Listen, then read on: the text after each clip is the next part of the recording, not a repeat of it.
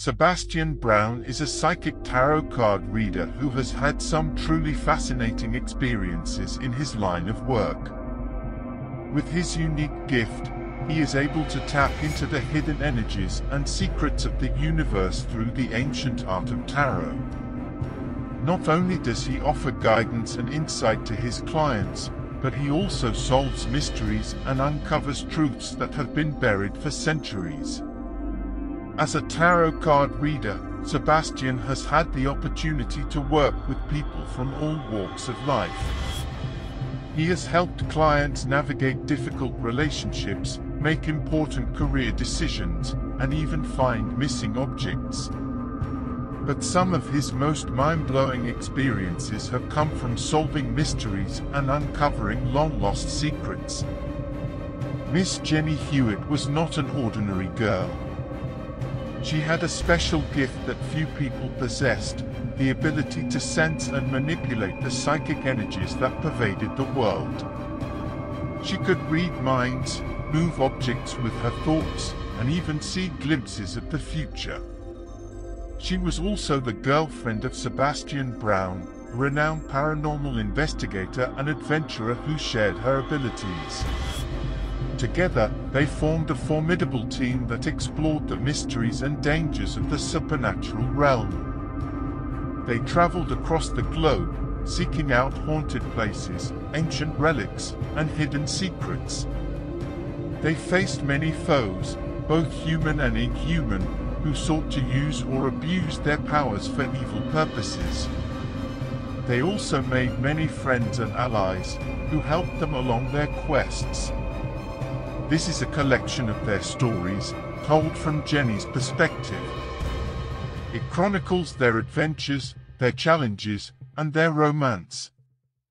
It reveals how they met, how they fell in love, and how they grew as individuals and as a couple. It also showcases their amazing psychic feats and their incredible discoveries. If you are a fan of paranormal fiction, you will enjoy watching their videos together. You will be immersed in a world of wonder and mystery, where anything is possible. You will also get to know Jenny and Sebastian, two remarkable characters who will inspire you with their courage, intelligence, and passion. Join them as they embark on their thrilling journeys and witness their extraordinary exploits. These are the stories of Miss Jenny Hewitt and Sebastian Browne, psychic adventurers. Welcome to my chronicles, and another episode of The Paranormal Detective, where I share some of the most fascinating and mind-blowing stories from my adventures as a psychic tarot card reader. My name is Sebastian Browne, and I have a special gift, I can tap into the hidden energies and secrets of the universe through the ancient art of tarot. I use my cards not only to offer guidance and insight to my clients, but also to solve mysteries and uncover truths that have been buried for centuries. In this first episode, I will tell you about one of my most recent cases, which involved a mysterious woman, a haunted mansion, and a dark secret from the past. It all started when I received a phone call from a woman named Miranda, who claimed to be an old friend of mine. She said she needed my help urgently, and asked me to meet her at a remote location in the countryside. She sounded scared and desperate, so I agreed to go. I packed my bag with some essential tools for my job, a flashlight, a camera, a recorder, a notebook, and a silver dagger. You never know what you might encounter in this line of work. I drove for about two hours until I reached the address that Miranda had given me. It was a huge mansion surrounded by a high wall and a wrought iron gate. The place looked old and abandoned, with broken windows and overgrown weeds. I parked my car outside the huge gate and made my way up the driveway towards the entrance and a second gate. There was no sign of Miranda or anyone else. I rang a bell that hung down from the gate and waited for a few seconds. Nothing happened. I tried again, but still no answer. I pushed the gate and it opened with a loud creak. I stepped inside and walked along the gravel path that led to the front door. The mansion was even more impressive up close, but also more sinister. It had a Gothic style, with pointed arches, gargoyles, and stained glass windows. It looked like something out of a horror movie. I reached the door and knocked on it. There was no response, so I tried the handle and it turned easily. I opened the door and entered the mansion. It was dark and silent inside. The only light came from the moon that shone through the windows.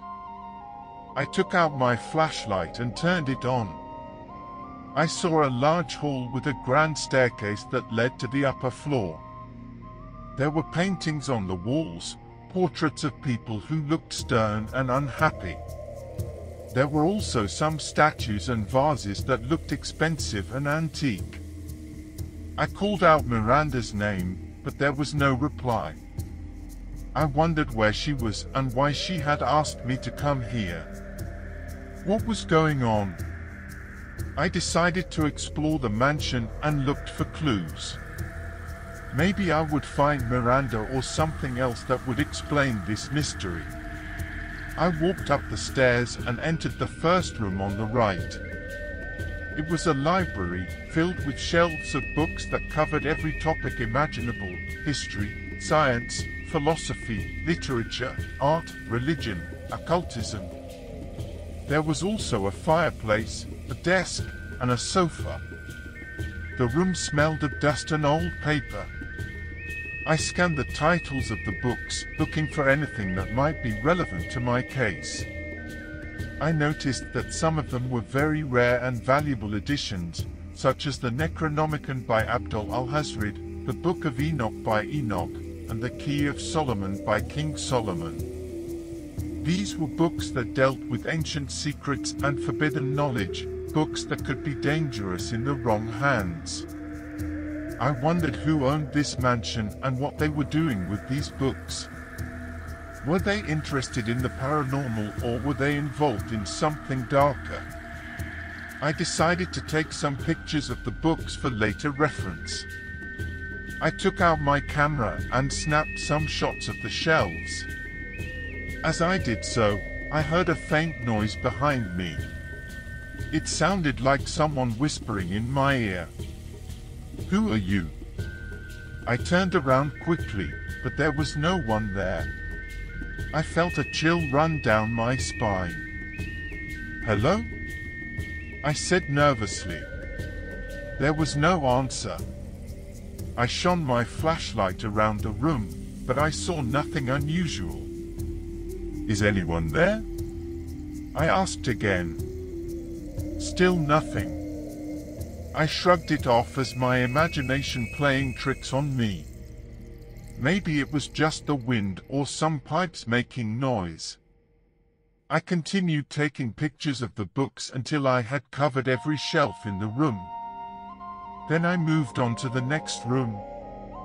Miranda was waiting for me at the door, and she looked pale and nervous.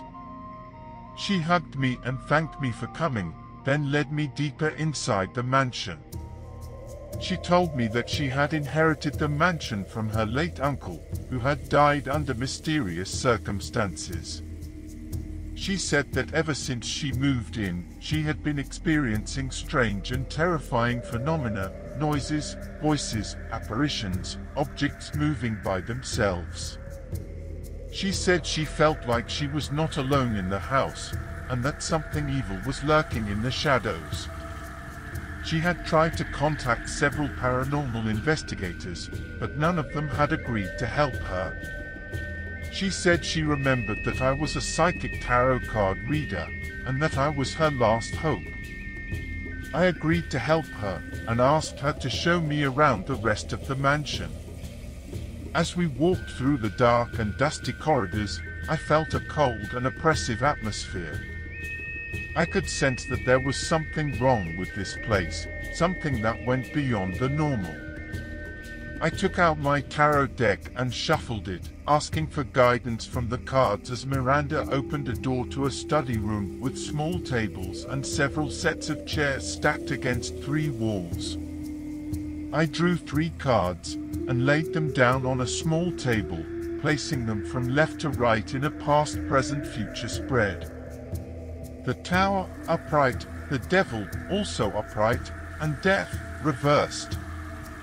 As I revealed each of the cards it was obvious the mansion's history was playing a vital part in this reading. These three cards were some of the most negative and ominous cards in the deck, indicating danger, destruction, temptation, and transformation, meaning that Miranda could be in some possible kind of grave danger, and that there was a powerful and malevolent force at work in the mansion.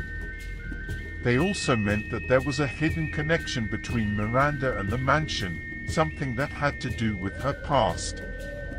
The tower card was placed in the past position, indicating some kind of upset or disruption that occurred in Miranda's past yet also linked to the mansions too. I told Miranda what the cards meant, and asked her if she knew anything about the history of the mansion or her uncle.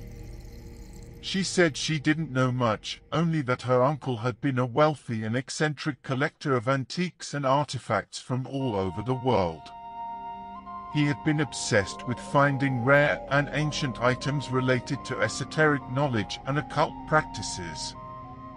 He had spent most of his time in his private library, where he kept his most prized possessions. I asked her if we could see the library, hoping to find some clues there. She nodded and led me to a large wooden door at the end of a hallway. She opened it with a large iron key and we entered the library. The library was huge and filled with shelves of books, scrolls, manuscripts, maps, paintings, statues, and other objects. It looked like a museum of occult history. I felt a surge of curiosity and excitement as I scanned the room. There were so many things to see and explore. But before I could do anything else, I noticed something that caught my eye, a large wooden table in the center of the room. On it was a velvet cloth with a strange symbol embroidered on it. And on top of the cloth was a tarot deck, I felt a chill run down my spine as I recognized the deck. It was one of the most rare and powerful tarot decks in existence, the Thoth Tarot deck. The Thoth Tarot deck was created by Aleister Crowley, one of the most famous and controversial occultists of all time. He claimed to have received the deck from a mysterious entity called Aiwass, who communicated with him through a series of visions. The deck was based on ancient Egyptian mythology and symbolism, as well as Crowley's own system of magic. The deck was said to contain secrets of creation and destruction, life and death, light and darkness. I had always wanted to see the original Thoth Tarot deck in person, but I never thought I would find it here. I wondered how Miranda's uncle had acquired it. To be continued.